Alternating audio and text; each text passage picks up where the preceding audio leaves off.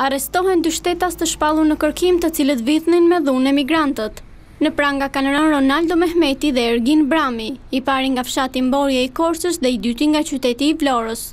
Të arrestuarit sipas policisë pasi i kanë dhënë ndihmë për të kaluar kufirin katër shtetasve sirianë të cilët i kanë marrë në një mjet në afërsi të fshatit Drenovë u kanë vjedhur me dhunë pesëqind euro dhe më pas i kanë goditur me thikë. Njëri prej sirianëve ka marrë mjekim në spitalin e Korçës. Sipas policisë, ngjarja ka ndodhur më datën dy gusht. Ky nuk është rasti i parë i grabitjes së shtetasve që vijnë nga vendet në konflikt.